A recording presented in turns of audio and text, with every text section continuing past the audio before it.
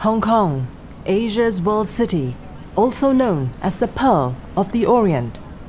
A vibrant urban center, major port, and global financial hub. Hong Kong is one of the most densely populated places in the world, with more than 6,000 people per square kilometer.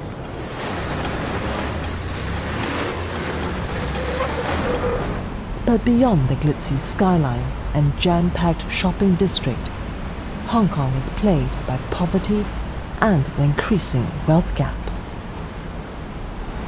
One in five people in Hong Kong are living below the poverty line with no signs of improvement in the face of a rapidly aging population.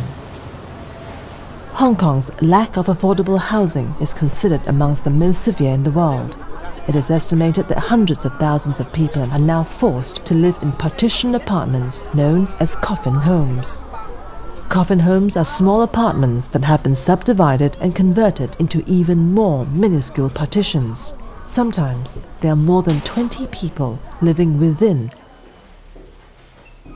Mr. Simon Wong, a resident in one of these coffin homes, allowed us to visit his humble abode. A narrow, meter wide hallway cuts through the complex. All of the 20 to 30 inhabitants are forced to share a set of toilets and a single sink. There is no kitchen for cooking. This particular property, however, while cramped and claustrophobic, seems clean and orderly. It's oddly quiet. The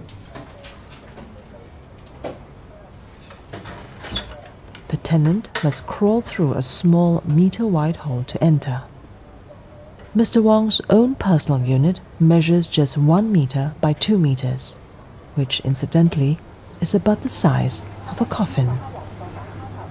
The unit barely has enough room for a small mattress from which he can either watch TV or sleep.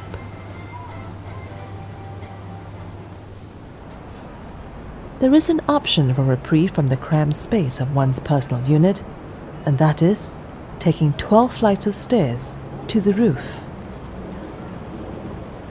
But Mr. Wong spends most of his time inside his coffin home watching television.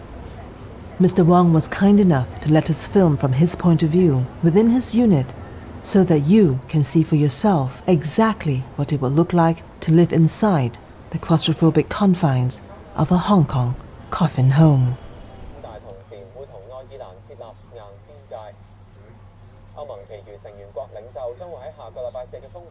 Mr. Wong says his television is on 24 hours a day, even when he's asleep.